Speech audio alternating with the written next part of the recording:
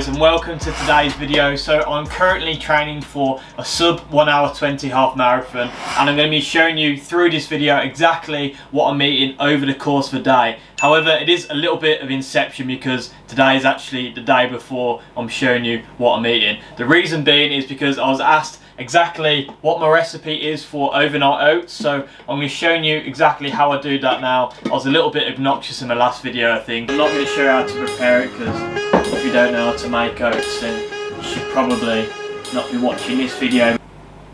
But I have these lovely glass Tupperwares that I've got here so typically the day before I'm going on a long run, which will be in the video, I'm running 24 kilometers tomorrow. So that is my longest run of the week training for this sub 1 hour 20 half marathon. So typically what I do is the day before I do these long runs and the day of the long runs, I'll increase my energy sources. So I'll increase my carbohydrates and fats. So the more explosive the exercise, like sprinting for example, or powerlifting, you're going to be burning predominantly carbohydrates. However, on the other side of that, the more slower the movement is, like walking for example, you're going to be burning predominantly fats. It will never just solely burn one energy source at a time. It isn't possible for our bodies to just burn carbohydrates or just burn fats. It will always be burning both, but the percentages will change based off the exercise and the explosive intensity of the movement or the exercise that you're doing. The day before I do my long run, so I've got a 24 kilometer run tomorrow, I eat more carbohydrates and more fats, my two energy sources,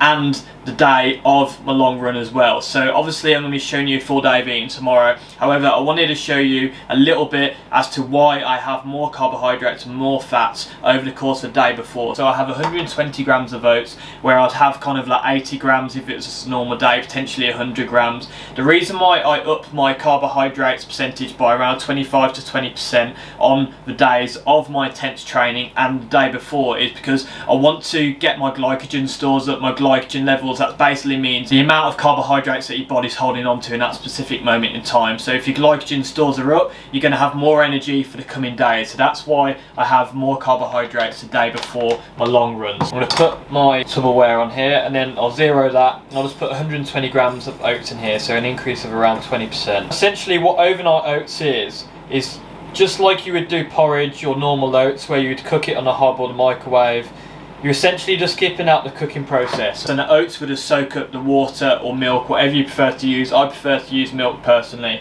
So as well as that, I'll supplement that with some sodium or salt. The reason why I have sodium is because you lose so much sweat which carries salt in your long run. So like endurance sports, for example, you lose so much of it and salt is so important for keeping us hydrated because salt basically holds on to bodily fluids. So like if anyone's an MMA fan, for example, or boxing fan, when people are trying to cut weight, they cut out sodium of the diet so that that water weight can basically come off them easier than it would if they had salt. Then the body's going to hold on to that moisture. However, obviously for endurance sports, it's incredibly important because for one, you're not going to get cramps as easy because basically cramps come when you're either dehydrated, fatigued or a lack of sodium. So if we can control having the sodium then it's going to basically help us be more hydrated than you would be if you didn't have it and obviously if you're getting cramps from fatigue then that's just part of endurance sports. So I have sodium with my oats purposely so I'm not getting cramps and so my body can hold on to my fluids so I'm not getting dehydrated on my long runs and ultimately affecting my performance.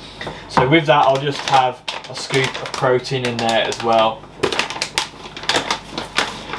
So one scoop in like that. And then once all my powders are in, I'll just mix those together. So I do sometimes have cinnamon in here, to be honest, most of the time, but I've ran out of cinnamon, unfortunately. It's absolutely horrific news because it is my go-to. So I just mix all those together. And I was asked recently on a video if I always track my calories and macros, and the answer to that, to be honest, is no. I don't really track them at all but I have a general idea of what I should be eating through experience and years of tracking my calories and macros. So I tend to have a rough idea what macros I need. So if I haven't had enough carbohydrates, I kind of know fats, proteins, whatever it is. I'll always eat a lot of vegetables, as you'll see throughout the day. I'll just put the milk, by the way, in with the oats. I'm using here sweetened soy milk. They didn't have any unsweetened almond milk in the shop. It's absolutely horrendous because I would normally use unsweetened almond milk. I try to stay away from extra sugars if I can help it. The only sugars I tend to have is fruit. But anyway, a little story earlier this year in lockdown. So I was meeting the mates in Hyde Park, I believe it was, or Regent's Park. Doesn't really matter, but yeah. So I was meeting them for a picnic, and I went there and I was cycling there, and I weighed out some crisps in a little pot when I was going to the picnic. And uh, when I got there, I didn't really think like it was a bit weird or anything. I just kind of did it because I was tracking my calories and macros. And my mate goes to me, "How come you've got uh, your crisps in a little pot?" And because I was cycling, I just came up with a quick, quick excuse like, "Oh, it's just I didn't want a crisp packet to explode in my bag when I was cycling." He's like, "Oh, fair enough." But in my head, I was like, "Fucking hell, I'm going insane." I literally tracked in a little fucking pot those like kettle chips. I put those in just so I could track my calories and macros. And then it was like that point I realised that I was like, nah, this isn't right for me. Like, because I've got a little bit of an obsessive personality, I think. That's probably a little bit egotistical to say, but I think I probably do have somewhat of an obsessive personality. And for me, tracking calories and macros, it just starts to form an unhealthy relationship with food. So a lot of people that have body dysmorphia or anorexia, which is basically an eating disorder, and I'm nowhere near that at all, but I felt like it was unhealthy and it was going towards that way. So that's the reason why I don't track my calories and macros, but I will put them in this video for the purpose of the video so you can see roughly how much I'm eating. But I do tend to weigh my food out just so I know volume. It's like, for example, I'll, I'll weigh my overnight oats here just because I can't see by eye how much it is. So like it just, like I, I, know I'm weighing it, but I'm not tracking my calories and macros, if that makes sense. So with these overnight oats here, you can either put your fruit on. If I'm working, for example, if I have to go into work, I'll put my fruit on now. It's a weekend now, so I don't need to worry about putting my fruit on now. Like, if you put on bananas and then put it in the fridge, the bananas go a little bit brown, I found. So I'll tend to put my fruit on fresh, just so it's a more enjoyable process of eating it. I tend to eat foods that I enjoy eating because this is a lifestyle. I cringe out a little bit when people say like, this is a diet you need to follow. Like for me, diet insinuates that it's a little bit of a temporary fix. I don't see the point of introducing eating habits or diets if you're not going to stick to it. So I tend to put some effort into my cooking or foods that I personally like just so I know I'm going to stick to it a lot. Of, I've eaten like this for a while now and for me it's like I enjoy eating like this still so I don't like crave bad foods as much. I do tend to have one cheat meal a week on a Sunday which is the last run of the week so it's a kind of reward for me but throughout the week I won't eat any bad foods and it makes me feel better. I'm healthy for it my performance is better in my running for example. So it's just a win-win for me personally. So once you're happy with the oats you can just put those into the fridge and the oats will soak up the milk I've put in there so it'll get thicker. As you can see that's a little bit loose here. So tomorrow those oats would have soaked up the milk so essentially is mimicking a cooking process. It's really easy to do it's nice and quick and to be honest I've been eating this for ages and it is still probably my favourite meal of the day. I do also do a little bit of intermittent fasting so I tend to follow a 16 8 window 8 hours is what my eating window is and the 16 hours is when I'm not eating at all. So in that 16 hours there's a little bit of confusion. People think you can have like cups of tea and stuff. You can if it's like green tea or black coffee because it doesn't have any calories in it or like one or two calories but if you start putting milk or honey in, then you're not going to be in a fasting state. The reason why it's healthy to be in a fasting state, essentially your body will switch to being in a state of ketosis, which is basically meaning a fat burning state. The reason why this is good, once your body's in a fat burning state, because it's burning carbohydrates if you eat them throughout the day. If you stop burning carbohydrates, your body will then, once it's used the carbohydrates, it will tend to burn more fats when it's in a state of ketosis, it means your body has time to repair cells, which ultimately helps with digestion, it helps with inflammatory diseases like heart disease, for example, and all those ketones and cells in your body, your body will have chance to repair them. Your body is a little science project, so if it realizes it's not digesting food, then it can put that attention into repairing cells. So that's the reason why I do it. But the reason why I do this as a runner is over your long runs, like for your marathon, for example, even if you have a load of carbohydrates in your body, there'll be what the wall is essentially for a lot of people. It's kind of a thing in your head where you're quitting. And the reason why people quit on the wall, it's a transition from your body switching from predominantly carbohydrates to predominantly fats. So when it goes over that line, it kind of you go for a few minutes of feeling flat until your body goes into burning predominantly fats. So those few minutes you have is when people quit and that's kind of one of these things where people call that the wall. So the reason why I intermittent fast is I like my body to get used to burning fats. So if this ever happens to me when I run it's kind of like my body will know exactly what to do. So if I'm out of carbohydrates it will kind of just start burning fats as well. So that's the reason why I intermittent fast. And not only that it's convenient for me as well. Like if I'm working if I'm editing a video over the whole morning I can just focus on editing the video and I'll get in flow state easier if I'm stop starting to have food, I find my work isn't as enjoyable. So like when I'm editing a video, I like to kind of have no distractions, get into flow state for example. So that's the reason why I do it. I also do it in the week at work as well. It just makes me feel better in all honesty. So anyway, enough talking. Tomorrow I'm going to be showing you a full day of eating and I'll see you guys on my 24 kilometer run.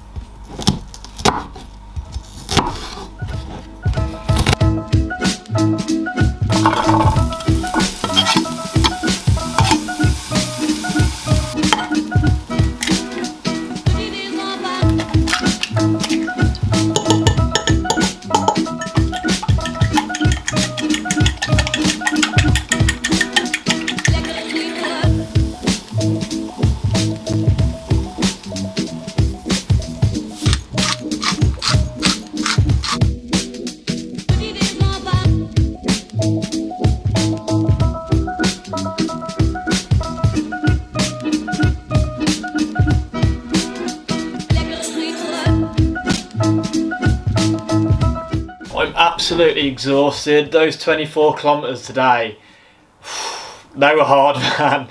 They were like, they took me ages to get into it. Like some runs, like to be fair, I was doing like my first anaerobic runs where I was doing like quick, short pace intervals yesterday. So I did a three kilometre warm up and cool down either side of two times 800 metres, four times 400 metres, and then four times 200 metres as well and doing those extra sprints using different muscle groups and obviously it's much more explosive anyway but I went out fasted today something I've been doing a little bit recently but because this was my first time yesterday doing a fast-paced interval runs I think I must have been burning so much more carbohydrates from doing those explosive workouts that I probably should have compensated for it a bit more. I had no energy today for the whole run. I'd say like actually no 14 kilometers I was struggling and then I kind of hit a second wind again but the last few kilometers kind of were tough as well.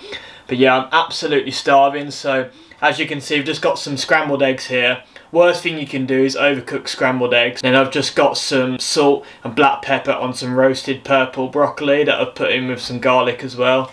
So I've got that and then I've got my typical oats, overnight oats. I've put on some fresh fruit now. So I've got a banana on there, some cashews and some pomegranate seeds as well. To be honest, most of the time I put peanut butter on there. But I've got a thing for actual nuts at the minute. So I'll put peanut butter in my smoothie later, but I'll show you that. And then my typical supplements that I take. So I've just got one multivitamin, cover all bases. Then I've got two complex six mushroom tablets that are great for concentration. I've got loads of numerous benefits as well.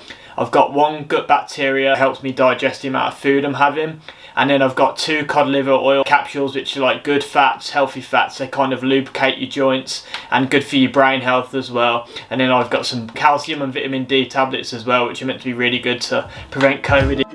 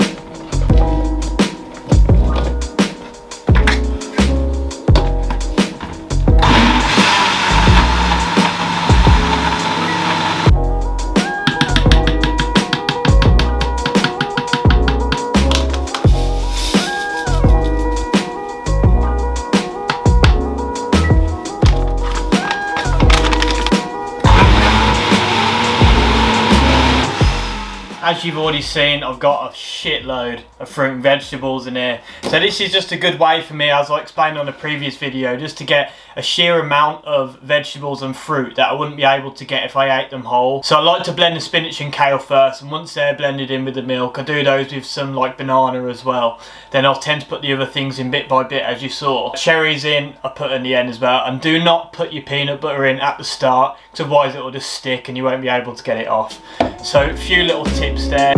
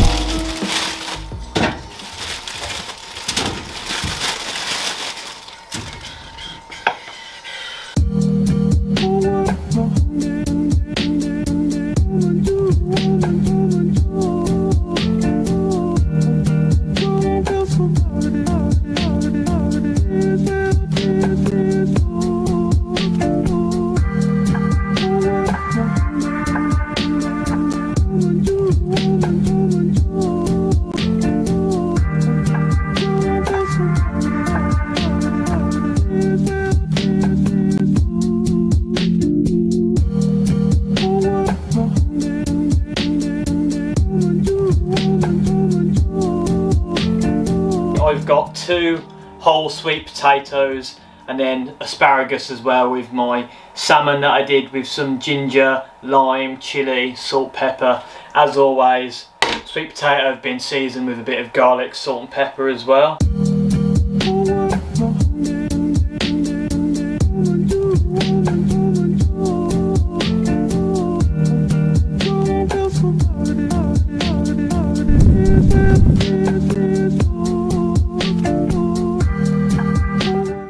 Just been chilling for a little bit and now it's workout time so I'm going to have to get myself up from the chair and do a little bit of working out. So basically I wanted to show you my little setup I've got here. I don't know if you can see that. I've basically got my Spotify linked up to my TV on my PS4 so I'm going to blast tunes through that. I'm also going to put music over the top so I don't want to get done for copyrighted. One of the worst things of YouTube. But anyway, so today's workout I'm going to be doing a little bit of push I think. So I'm going to be doing like some chest workouts but mainly I want to focus on my shoulders, my delts because I'm trying to get better at a handstand. I can do a handstand but I can't hold it for very long and I think I have the strength but I want to improve my mobility in my shoulders just so I can kind of hold it at the very top because I do like these shoulder presses against my door here and I can like if I put my feet off the top of the door I feel like I can hold it. But it's basically I'm trying to get like some more mobility in my wrist for example because without me pushing against my wrists I can only I only have like that. And my wrist where you want to be like 90 degrees if you want to get to being able to do handstands more efficiently. So like if you can kind of bend them back. So I'll do a little bit of wrist mobility before I get into that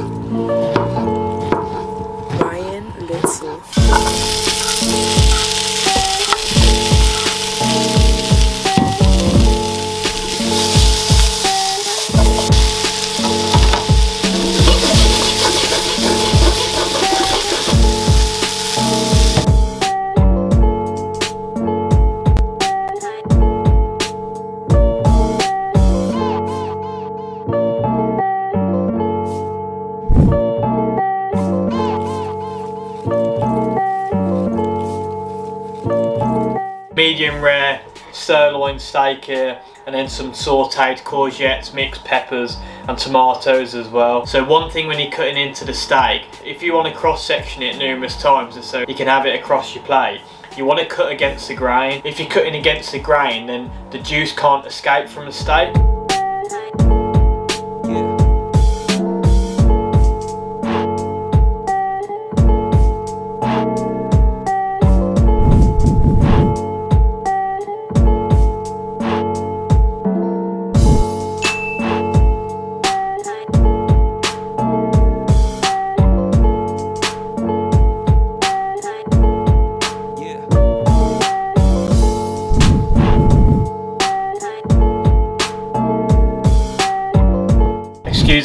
I've just basically turned off all my blue lights and that just so I can start to wind down for bed. So basically I've just got one decaffeinated green tea bag here from these Clipper tea bags. And then also with that, I'll let that soak for a little bit in the water. So once that's soaked and I take the tea bag out, I'll basically just put a shot of this apple cider vinegar in there as well.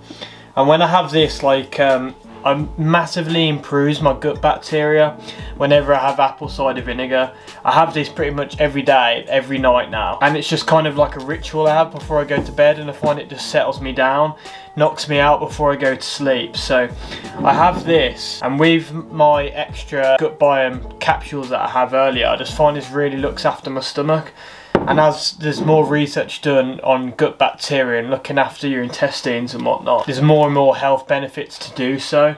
So when I have these, I have decaffeinated tea, obviously, just so I'm not getting any caffeine, just so I can sleep. Because caffeine stays in your system from anything from like 7 to 14 hours. So I have my last caffeinated drink, like I pretty much just have one black coffee a day.